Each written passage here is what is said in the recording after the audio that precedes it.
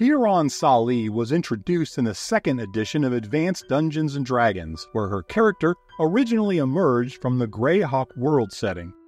There, Kiaransalee was once a beloved queen, possessing a grace that captivated the elven people of a land named Threnody. From an early age, Kiaransalee exhibited a natural proficiency for the arcane arts, but she was left unsatisfied with the more traditional, nature born magic of her people. Inside her lurked a far darker curiosity, a fascination with the ability to infuse unholy energies into the lifeless.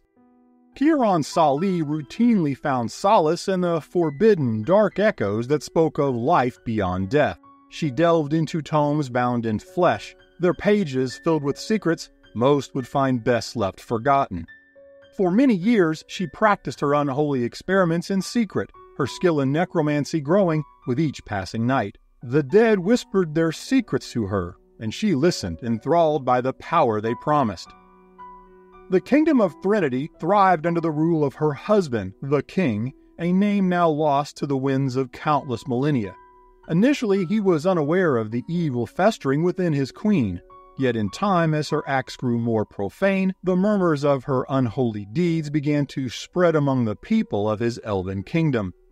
Rumors began to circulate of gruesome horrors digging up the dead in the black of night, their lumbering shadows carrying lifeless corpses into the castle's dungeon depths. The once adoring populace now grew uneasy, their reverence now turning to fear and disgust. Undeterred, driven by this forbidden obsession, Kiaransalee continued her descent into the taboo, continuing to raise undead minions in even larger numbers, ghastly beings bound to her will. She found their company far more appealing than the living, and they carried out her bidding with a silent efficiency.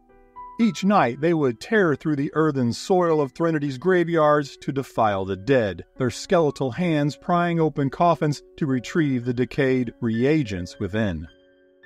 Over time, the Necromancer Queen, no longer satisfied with the long dead, would add outright murder to her list of foul deeds. The fresh blood of innocents now fueling her growing powers, their lives extinguished, their souls enslaved to satisfy her dark ambitions.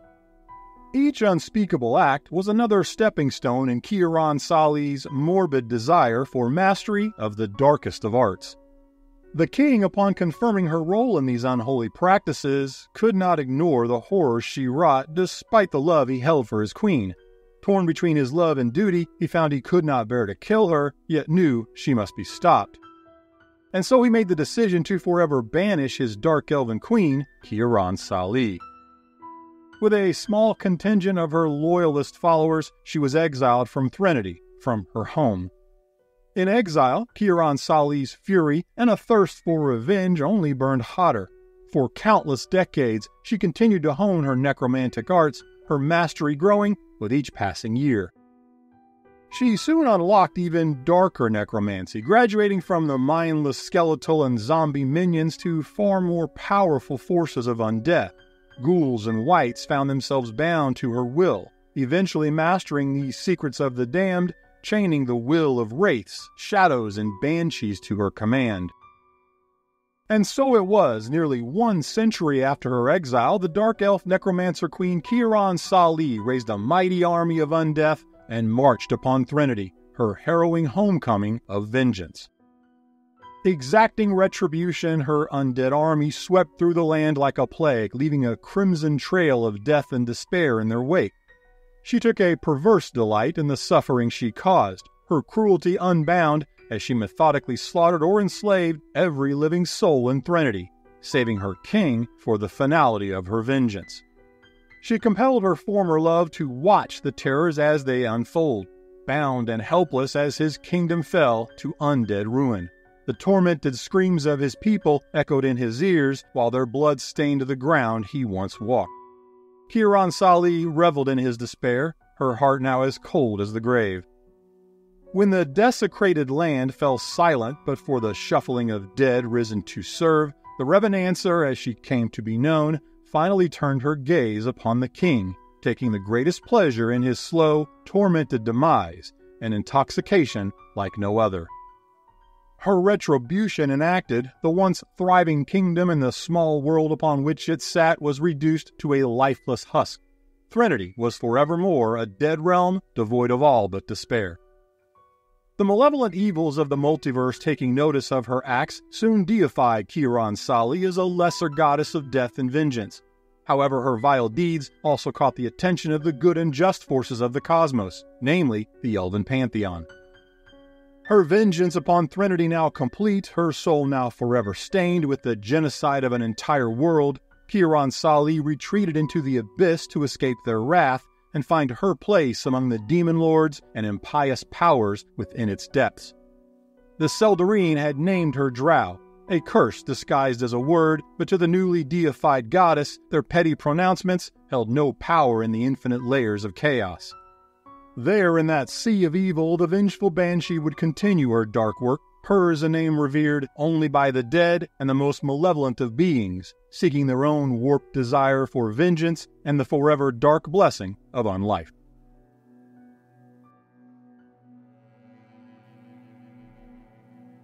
Kiaransalee emerged from her mortal shackles as the drow deity of vengeance and the undead, called upon by those who seek retribution, mastery of dark arts, or an extended unlife. Her portfolio encompasses two primary domains vengeance and death, or undeath if you prefer. And these powerful domains shape the vast majority of her interactions, from the religious dogma she demands of her followers to her own selfish motivations and ambitions.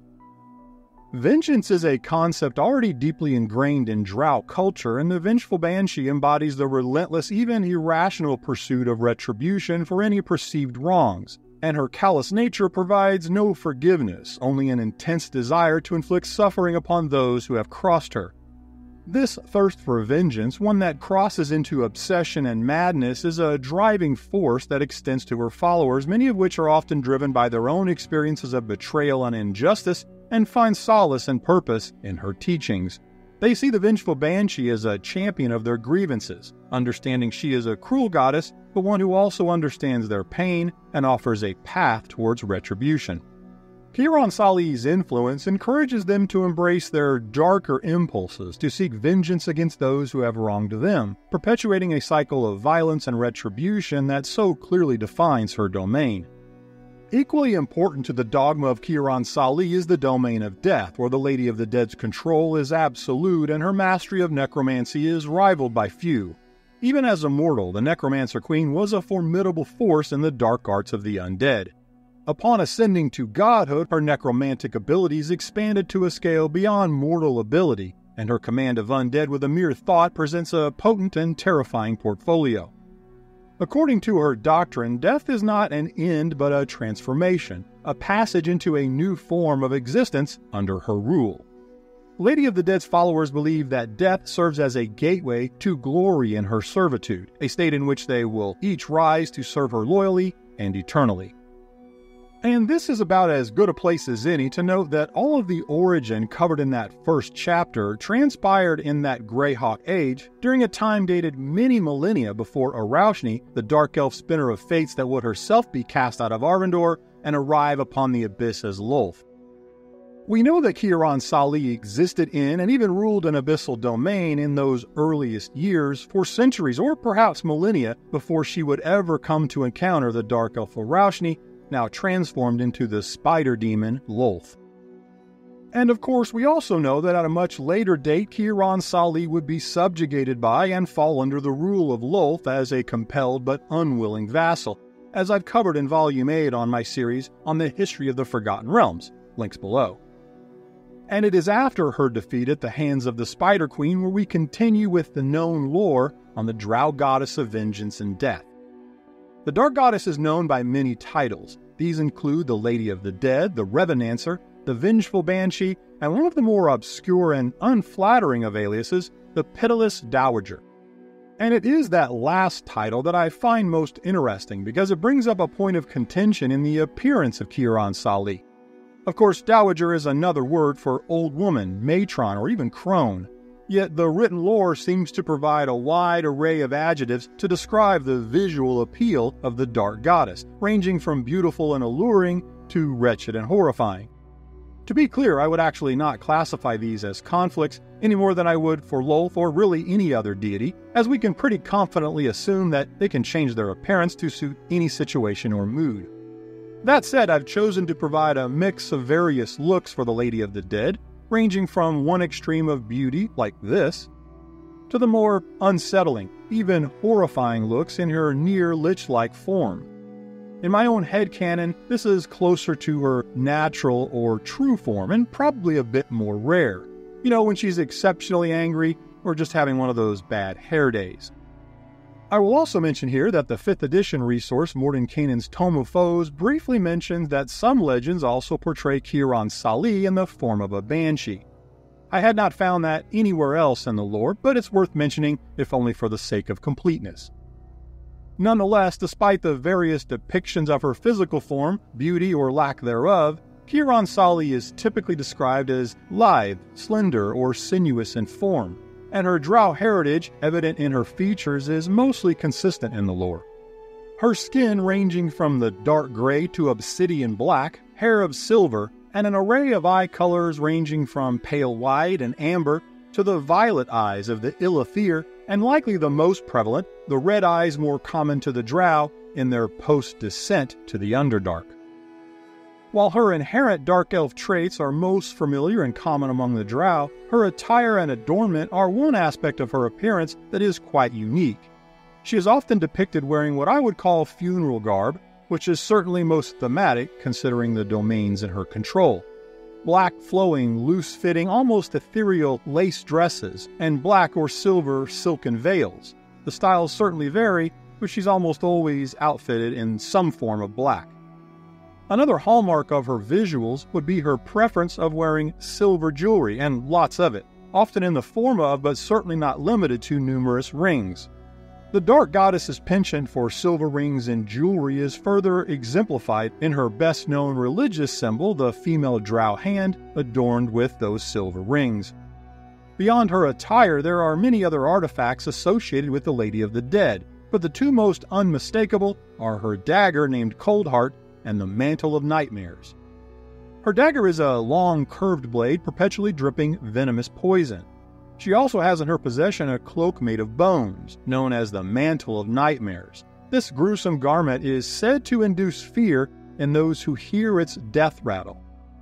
But all this talk of her physical appearance is likely a moot point for most because Kiaransalee only rarely reveals herself in her drow humanoid form to mortals. That is not to say the Revenancer does not make her appearance known, quite the contrary. However, she most often does so through the use of one of three alternative manifestations that are well documented in the lore.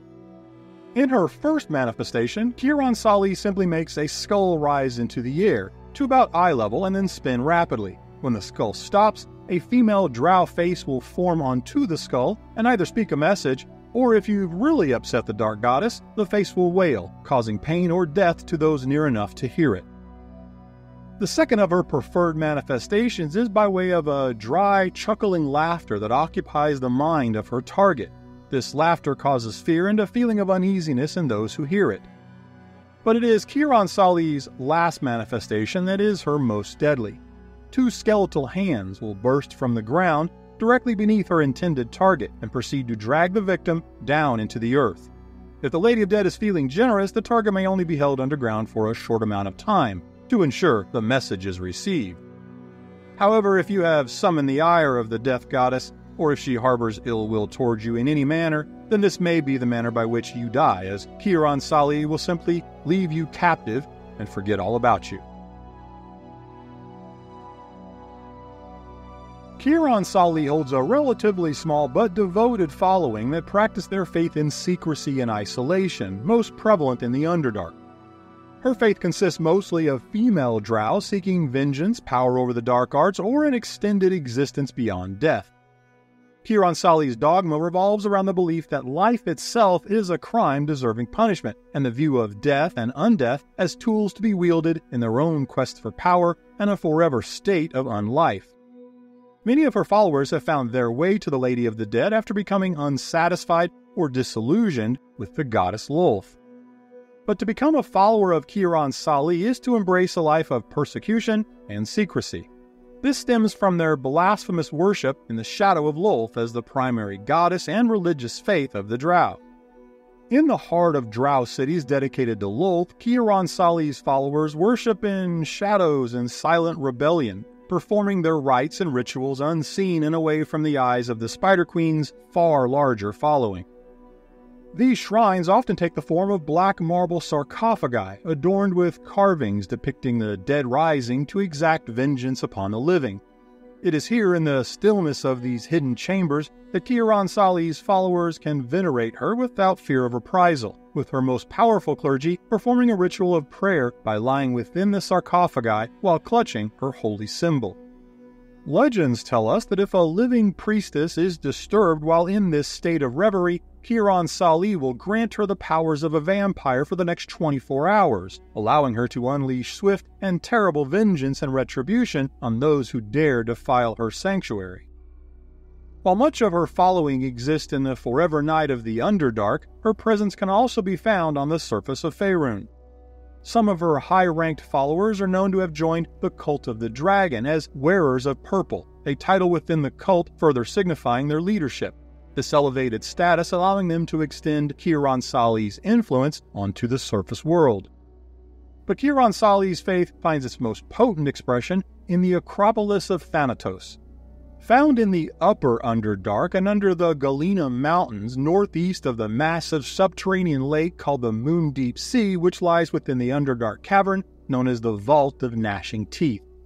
The temple's black marble structure is adorned with unholy sculptures and murals, Within its walls, priestesses of Kiaransalee practice their profane rituals, raise armies of the dead, and plot their vengeance against those who have wronged them. The Acropolis serves as a central hub for followers of the Lady of the Dead, a place where they can gather in secrecy, share knowledge, and plan their next moves. The temple's strategic location beneath the Galena Mountains allows her forces to launch attacks onto the surface world, targeting those who oppose their goddess. The temple itself stands in the center of the ruins of Veldrinshar, the city's name meaning concealed mine, hence at its secluded nature. Once a thriving drow city dedicated to Lolth, it fell victim to a plague, falling abandoned in 1278 Dale Reckoning. For a decade, the city lay silent until a band of Duergar raided its remains, leaving it a desolate ruin. Then, in 1337 Dale Reckoning, Lorinda Talina, a priestess of Kiaransalee, claimed the ruins for her goddess, establishing the Acropolis of Thanatos as the primary temple of the Revenancer. The Acropolis is probably best known as the principal location of the Legion of Vengeful Banshees, the most prominent of unholy orders under Kiaransalee's religious influence. These fundamentalist Banshee Knights are fanatically devoted to their dark goddess and the destruction of the undead Tanar'ri servants of Orcus. They tirelessly launch crusades across Faerun and into the Abyss, and will stop at nothing short of achieving vengeance over Orcus on behalf of the vengeful Banshee. Their animus and even name stemming from the Lady of the Dead's invasion into the realm of Thanatos, as I've well documented in a separate video, links below. Another notable temple dedicated to Kiaransalee is the Undying Temple, a sentient structure summoned by Ire Tessarin, another powerful priestess of Kiaransalee. Located within Castle Maerimydra, the Undying Temple's unique architecture featuring a floating orb of negative energy and magically enhanced walls make it a formidable stronghold. The Undying Temple's sentience allows it to actively defend itself and its inhabitants making it a powerful asset in Kiaransalee's ongoing struggle for religious dominance. The temples of Kiaransalee, whether hidden shrines or grand complexes of sentience, serve as more than just places of worship. They are bastions of her vengeance, where the dead are revered and the living are manipulated to serve the goddess's dark designs.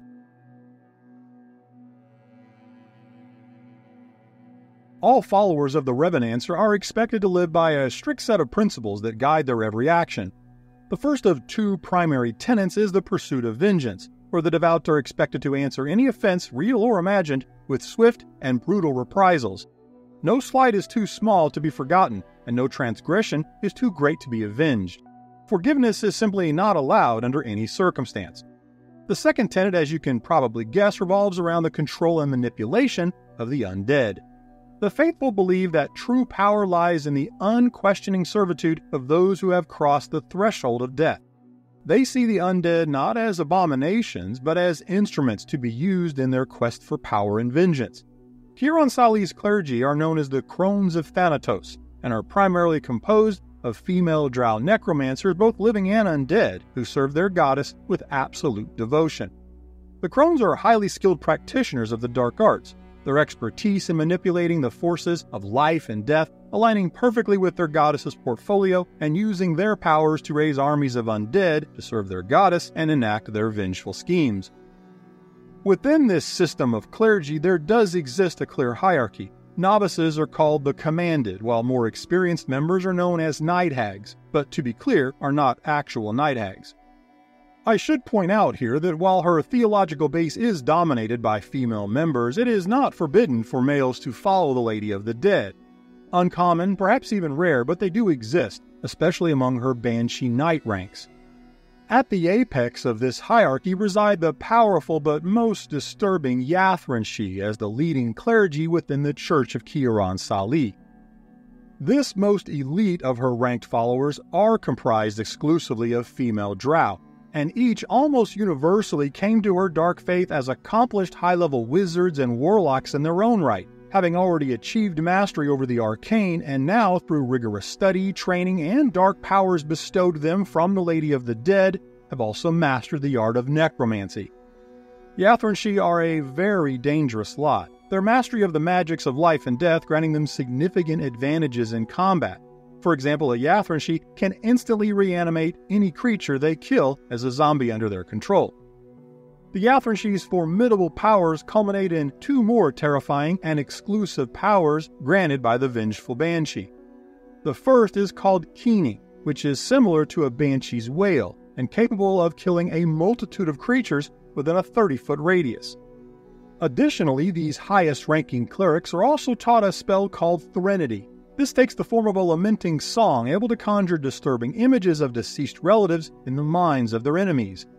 This effect is particularly powerful if the Yathrinshee is in command of undead with a personal connection to their foe.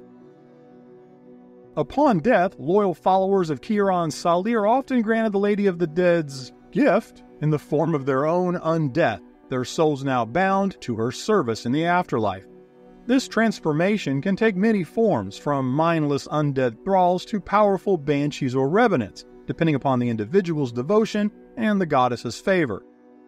Those deemed especially worthy might even be transformed into an empowered form of banshee called Kiaranshee.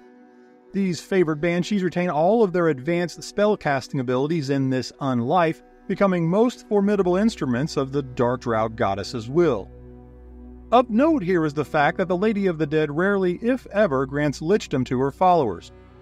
While the lore does not explicitly state she cannot or will not, there exists no historical accounts of her ever bestowing lichdom, as the vengeful banshee generally prefers to grant her dark gifts of unlife in the form of revenants, banshees, or for those most loyal of her servants, her greatest gift, a form in her own image, the empowered banshee like Kiaranshees.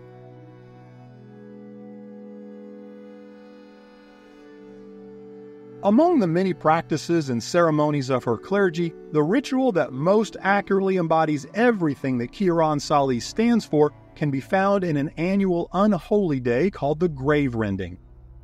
Taking place on Midwinter Eve each year, the grave rending is a single day ritual observed by followers of the Dark Goddess and is intended as a form of reverence for the undead. During the grave rending, each of her clergy, as well as her followers with necromantic skills, will push their dark powers to their limits, animating as many undead as they are able to control. These undead, known as vengeance hunters, are then imbued with an unlife and an impious drive to achieve a singular purpose find and seek revenge against those that killed them empowered to relentlessly pursue their quarry and attain their own form of undead vengeance, they are gifted this unlife for exactly 24 hours. If a vengeance hunter is destroyed, it does not rise again. and after 24 hours have elapsed or they have achieved their revenge, these undead vengeance hunters simply return to their graves in what must be a harrowing sight. Now, you would be forgiven for thinking that the grave rending would be the darkest of practices for the crones of Thanatos, but you would be wrong. For those that watched Volume 8 of the Forgotten Realms history series, you'll recall my laments as to why Kiaransalee, such an interesting and underused deity, was not given more love in these later versions of the game. I speculated then that this was most likely due to her Greyhawk origins. And while I still think that is true to some degree, in my research and discovery for this volume, we really need to look no further than the Yathrin for some of the strongest evidence as to why the later editions of the lore have shunned the Dark Goddess. As the highest ranking clergy of her order, bestowed with great powers from their goddess, the Yathrin have demands placed upon them as a prerequisite in order to achieve that lofty status, title, and granted powers. While this, of course, includes their magical prowess, it also includes the routine and ritual undertaking of some disturbing acts that involve the undead. The third edition Book of Vile Darkness actually has a word for this. They call it a feat named Lich Love. I'm going to leave it right there and suffice it to say that Yathrinshee are most likely big fans of Cannibal Corpse. Now, moving quickly away from that lovely detour, we find ourselves headed directly into another lore pothole but I would be remiss if I were not to at least mention another of the more unsavory aspects of Kiaransalee's dogma, specifically her association to the, let's call it the trade of indentured servitude of the Dark Elf Drow. Kiaransalee is described as a divine sponsor of this heinous practice, with her followers often engaging in the worst aspects of such enslavement. And there exist gruesome accounts of ruthlessly working these drow elves to death only to then raise the fallen to continue their service of hard labor. I will point out, however, that I found this connection primarily in sources originating from the Greyhawk setting, where the goddess's name was slightly altered to replace the double E with an I, which I also learned in my research the lore describes as a forced change placed upon the Revenancer by Lolth as a symbol of her subjugation. While Kiaransalee is most certainly capable of great cruelty, she also exhibits surprising tenderness towards her undead servants and minions. The grave rending ritual holiday we just discussed being an excellent example of her reverence for the dead. Outside of interactions with her undead, Kiaransalee is best described as cruel, spiteful, and incessantly consumed by thoughts of vengeance. She is swift to anger and harbors grudges of the most ill intent for any perceived slights, whether real or imagined. This tendency towards vengeance stems from her many deaths and resurrections, which is also written as a catalyst for her madness. That's right, make no mistake, Kiaransalee is considered to be an insane deity. Yet, despite her madness, the Dark Goddess retains a sinister intellect, carefully scheming against those she believes to have wronged her in any way. Her insanity is best illustrated through an unrelenting obsession with those slights. She remembers every perceived insult, and will meticulously plot her revenge, going to extreme and unreasonable lengths that may be both unwarranted and irrational. This makes the vengeful banshee a dangerous and unpredictable deity, something any adventurer should always keep top of mind and every world builder should incorporate in their efforts. Kiaransalee's relationships are even more complex, fraught with a pervasive sense of distrust. Bound to Lolth's will, the Lady of the Dead seethes with hate under the Spider Queen's rule and desires nothing more than to break free from her control, yet she is only capable of small acts of rebellion. However, that does not stop her incessant plotting for her freedom and some measure of retribution. And it is that forced subservience to Lolth that colors her interactions, with Kiaransalee constantly seeking opportunities to undermine Lolth's authority. While she has formed alliances with other deities, these are often fleeting, tenuous, and driven solely by her own agenda. In the end, Kiaransalee's loyalty remains only with herself and her own pursuits of power. As such, the Revenancer prefers to act independently of others, trusting few to carry out her will as she envisions it. This need for control is best exemplified in her preference for the company of the undead, who follow her every command without question. Still, Kiaransalee's constant pursuit of vengeance, her self serving nature, and her favor of the undead have all earned her a host of enemies. Her disregard for the sanctity of life makes her a figure of fear and revulsion among many gods, and this has brought the scorn of Eilistraee, Kelemvor, and Jergal, just to name a few. But while Lolth will forever remain at the top of her hit list, at least until she's freed from the Spider Queen's clutches, the Vengeful Banshee counts another among her most hated. But unlike the Spider Queen, in the case of Orcus, the demon prince of the undead, Kiaransalee was able to exact her vengeance. I would be remiss if I ended our profile on Kiaransalee without touching briefly upon the Lady of the Dead's most notable act of lore, her most improbable defeat and temporary obliteration of Orcus, the demon prince of undeath. Orcus is, of course, well known as the powerful Tanar'ri lord and ruler of the 113th layer of the Abyss, Thanatos. But it was not always this way. Leveraging her own necromantic powers and a fateful combination of good timing and a complacent Orcus, the Lady of the Dead seized her opportunity, and for a not insignificant period of time, Kiaransalee was the undisputed ruler of Thanatos. I have an entire hour long volume dedicated solely to this event and all of its details. So if you would like to know the full story, one that includes both Orcus's undead form as Tenebrous as well as the death of Primus and five other gods left in the wake of his reclamation of his realm, then check out the Death of Orcus video, links in the show notes, and a quick link above you right about now. What I will add here that I left out of that particular video by design is one of the first questions you might have about the Revenancer's reign on Thanatos. How long did she rule? Well, that is an excellent question, with a complicated answer, and one that scholars simply cannot agree on, even to this day. The lore gets pretty murky on the timeline, but I will share the clues and contradictions that we have, along with my own opinions, so that you may come to your own conclusions. First, we have to remember that these events take place across the timeline of the gods and cosmic powers, not on a human or even mortal scale. While the lore does not give us all the exact dates, we can construct a rough estimated range for Kiaransalee's reign across a timeline that spanned at least a few centuries to nearly a millennia, but even that is not without its conflicts. If you watched the Death of Orcus volume, then you know that the bulk of the lore was published in the Dead Gods Adventure anthology and that its events took place in 1369 Dale Reckoning. And in that adventure, it is clearly stated on page 66 that as of 1369, Orcus had been dead for centuries. This lore is further backed up on page 128 of the Fiendish Codex 1 Hordes of the Abyss, where that source again confirms that Orcus was dead for centuries by the time of his resurrection. So, just following that logic alone, Kiaransalee would have had to kill Orcus and take over Thanatos in the 11th century Dale Reckoning at the absolute latest, so 200 plus years prior. But centuries is plural, so that vague lore allows us to posit that she may have in fact ruled for something nearing a millennia. However, we run into our first timeline conflict, and it's a major one, if we both look back at the 1980s module, The Throne of Bloodstone, and try to take that lore as canon. Spoiler alert, we shouldn't, but I'll come back to that. In The Throne of Bloodstone, we are told that its events took place in 1359 Dale Reckoning which would necessitate that Orcus would have died sometime after 1359, which is obviously a clear cut contradiction to all the lore published after this module.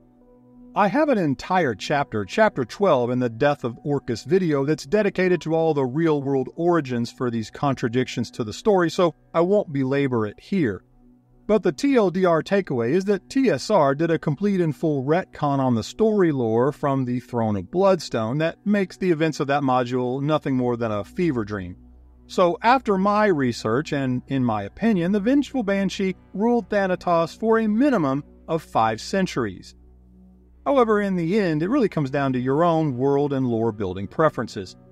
Either way, when looking back at Kiaransalee, I cannot help but feel like she has continually been given the short end of most lore, always defeated, subjugated, and certainly overshadowed in the Drow pantheon by the lore dominating presence and popularity of the Queen of Spiders, Lolth.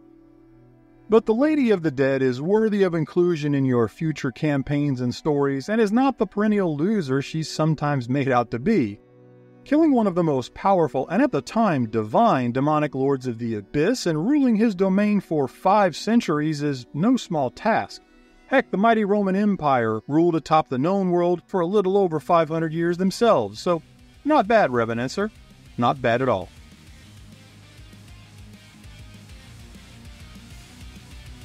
Thank you, fellow lore scholars, for giving me the opportunity to share today's lore, an endeavor only possible through your continued support. And a very special thank you to my Patreon supporters. If you'd like to support the channel as I attempt to keep the content sponsor free, please check out the links below.